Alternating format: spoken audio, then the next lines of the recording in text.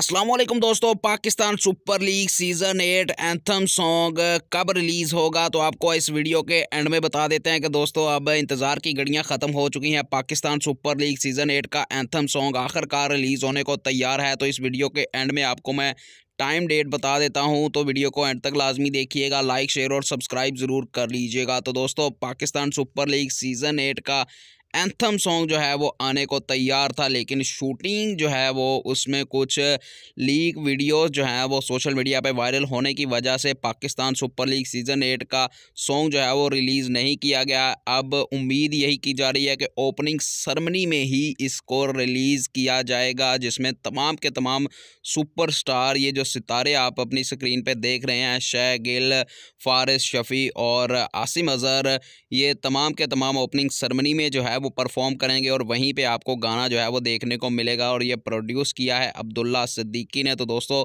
ऐसी मज़ीद अपडेट्स के लिए हमारे चैनल क्रिकेट आई को आपने सब्सक्राइब लाजमी कर लेना है। अल्लाह हाफिज़।